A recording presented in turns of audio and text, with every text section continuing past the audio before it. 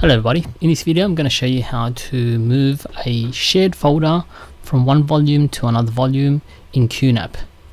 So as you can see I've logged into my QNAP dashboard. The model of the QNAP that I have, let me show you. So version TS431P.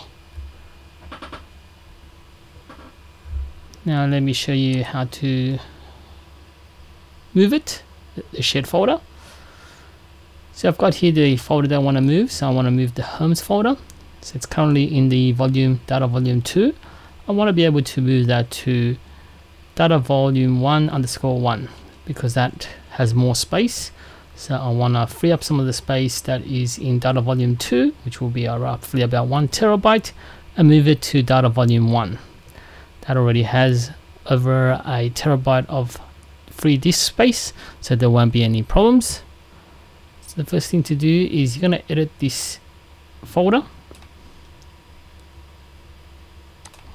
Give it a, a new name homes.old apply that. So the renaming the folder is completed. Even though it shows that there's the size is zero I logged in, I checked the file station and there is files in there, which is good. Now what we've got to do is we've got to use a tool within QNAP. So we've got to use a tool within QNAP.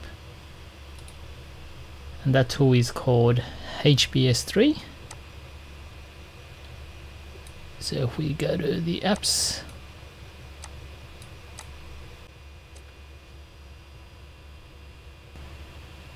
and we do a search for H HBS hybrid backup sync that's the one.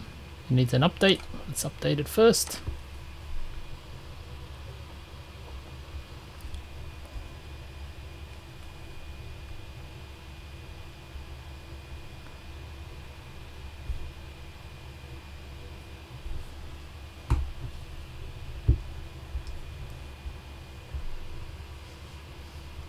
So what we're going to do is we're going to do a one-way sync job so that we're copying the folders from the old share to the new one. While it's doing that, I need to also create Okay, so now we're going to create the shared folder. So if we click on create, shared folder, put homes, which is going to be the new one. So as you can see, the size on the data volume 2 is 90 gig and I'm gonna choose data volume 1 underscore 1 which has 1.4 so that's correct. Let's specify the path automatically so it's going to create just the homes. And just give rewrite to all the users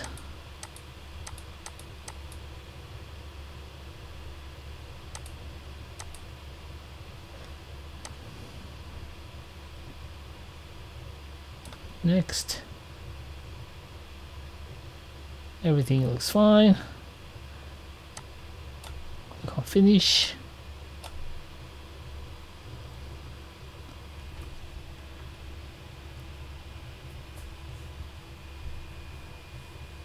so now? So as you can see here I've got homes I did have one called homes dash 3 TB disk and that already had a path to homes and that's why I the other one that I created called homes didn't show up.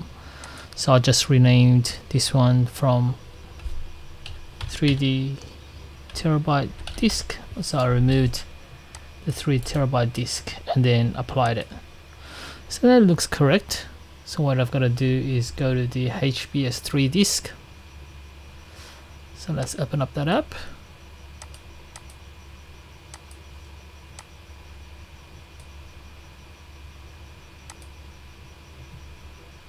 this one here.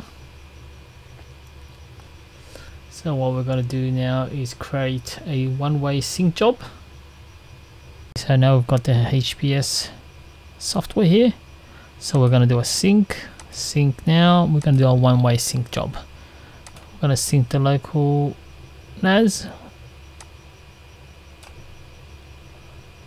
So local one way sync homes folder sync let's have a look at the parent folder. So we're going to choose the old the old homes folder this one here. And we're going to sync it to the new homes folder here. So we're going to go next. No schedule just sync it now. And then just create it and we're just gonna let it run. So now it's gonna copy all the files from the homes.old folder which is in a different volume to the homes folder in the new volume. And that's it. So just gonna let that run. It's gonna copy all the files and that's how you move folders from one volume to another. Once that's done you can go back to your homes.old folder and you can delete that. But you just gotta make sure that all the files have been copied across. And once you've confirmed that just delete the old folder. I hope this video helped. If you did please give it a like and subscribe to the channel